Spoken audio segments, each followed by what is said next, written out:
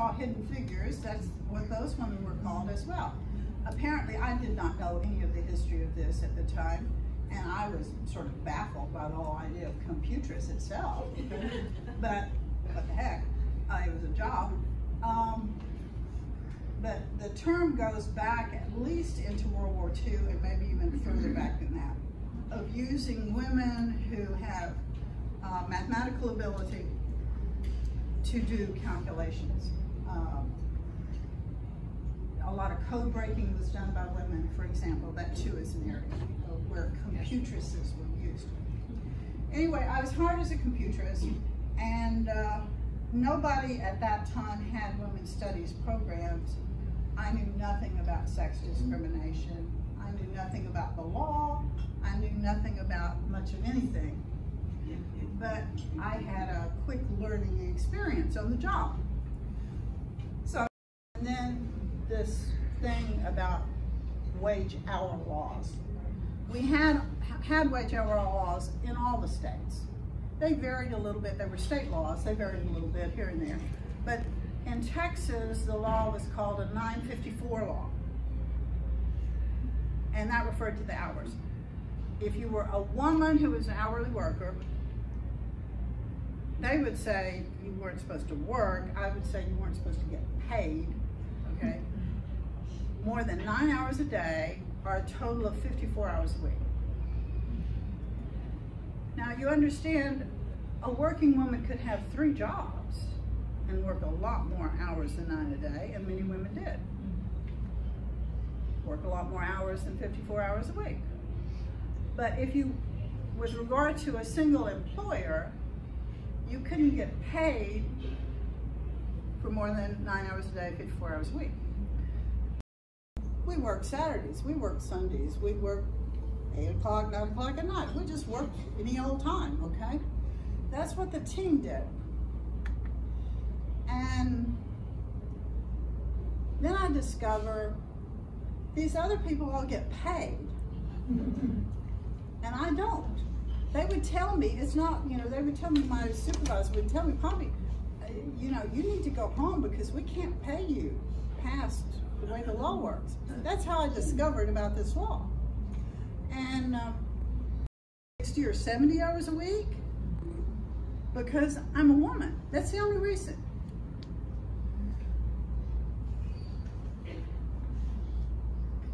I would stay anyway.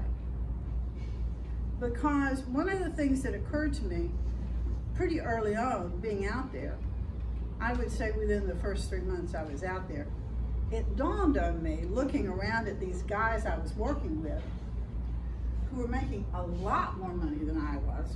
They were non-hourly workers, but they were called members of the technical staff. And looking around the room, and dealing with those guys, it occurred to me one day, I'm as smart as these guys are. But they're making a lot more money than I am. And I decided I wanted to be a member of the technical staff and make the kind of money those guys were making. Because I was working as hard as they were, and I was as smart as they were. So why not?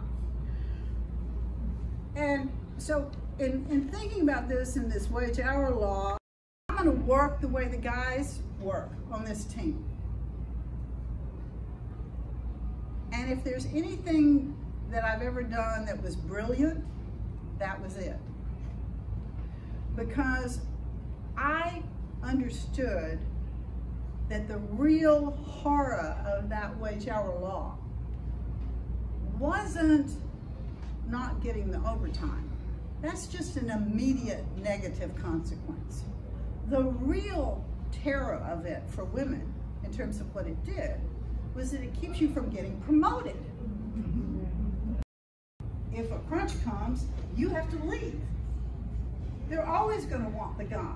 If, it, if a promotion comes up, they're always going to want the guy because they can count on him to be there if they need somebody to work 60 hours a week or 70 hours a week or seven days a week or whatever. That was the real horror of that wage hour law. And my most brilliant thing was to say, so you don't pay me. I'm here, I'm working the same way the guys on the team are working. And the difference that made was that the guys on the team thought I was a member of the team. I wasn't somebody who left at six o'clock.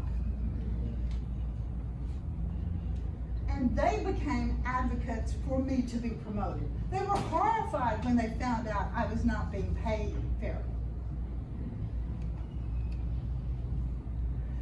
And in fact, I mean, that's really part of how it was that I got promoted and made a member of the technical staff. But that journey in and of itself, you see, brought up another clue about how sex discrimination works. One of uh, the women here at my table was talking about the same thing and still, I mean, going on now, currently. This is still happening. The wage hour laws have been changed, okay? But my operations manager told me six months after I'd been there, we want to promote you to be a member of the technical staff. My crazy idea was working, right? six months in, I had managed to do this. He said, you know, at your one year anniversary. Okay, I'm patient. Uh, one year comes and I'm not getting my promotion and I'm not understanding what's going on. Because Charlie was a straight shooter. If he said he was going to do it, he was going to do it. Was our operations manager.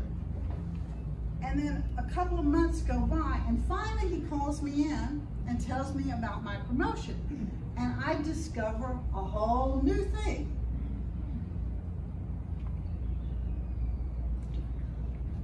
The whole upper structure of the corporation to get me promoted because the pay differential was so great between where I was and where I should be.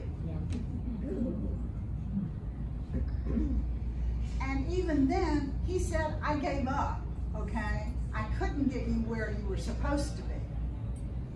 I fought for two, three months, okay? And, you know, all I was able to get was I was finally able to get you into the bottom of that pay bracket. He thinks I should be higher in the pay bracket, but I was getting a 60% raise. okay? They had no mechanism to deal with past discrimination. And one of the one of the women over here was talking about the same exact thing, okay? That is still an ongoing problem. That if you are underpaid to start with, most companies today still have no mechanism really to get you there, okay?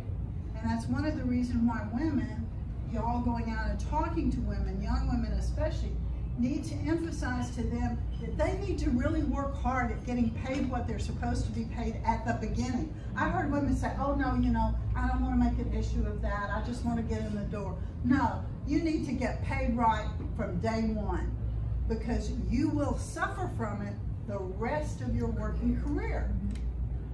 You will never catch up. I had a very progressive boss, the fact that they promoted me at all. If I had worked at NASA, none of this would have happened. I was working for a very progressive company, a contractor. I had to give up, okay? I, you know, he said, he said it would have been easier to have fired you and rehired you. he said, I could have done that, you know? I could have hired you in wherever. I just could not promote you and give you that kind of raise. So he said, so I'm going to give you the max increase that we can give every review period and give you as many review periods as I can give, okay? So he, I had someone who was fighting for me. Most women do not, and that's why I was extremely lucky. Uh, when I went over to the control center. I was not expecting ever to work in the control center. It was because they accelerated the uh, launch of Apollo 8. Um, and uh, they needed the people that developed the Return to Earth program to come over and help the flight controllers understand what this data was that they were getting. Because coming back to the Earth from Earth orbit is not at all like coming back to the Earth from a lunar orbit. It's a very different kind of thing. And over there, I got to have the experience of being the only woman in the room. Um, I was pretty used to that by then, okay? I was the only woman who was a member of the technical staff at TRW for several years. They did eventually, there were some more eventually hired. Um, about, look at channel, whatever, 54, whatever. Look at channel whatever, because we have all these screens and you can call up channels and you can call up audio, different things.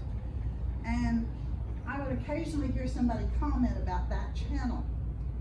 And finally one day I went, I wonder what's on channel 54. So I turned it on and it was me. Just me. Because they have closed circuit cameras in all those rooms. It was just me.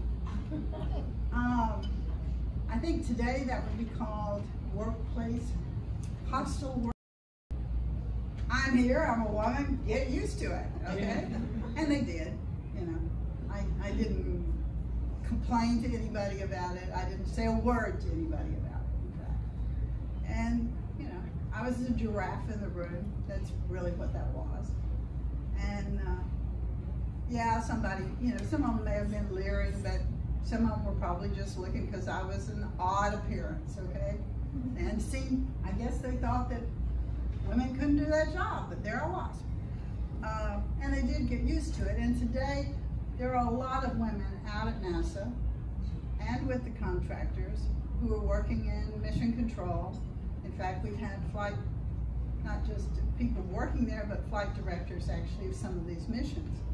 And sex discrimination. Mm-hmm. They should not be staffing those missions based on your gender. I mean, as far as I'm concerned, probably if they were putting the best people on, it would be an all-woman mission. okay? I mean, we now have plenty of women astronauts, and there's no no reason that they should be limiting it to the first woman. Okay, why not have the whole crew be women? Mm-hmm. But, but the truth of the matter is that you know they should not. They really should be staffing it based on who's best, not on the gender. Uh, so last year, I mean, you know, four years, for the last four years, Pence was always going around talking about first woman and next male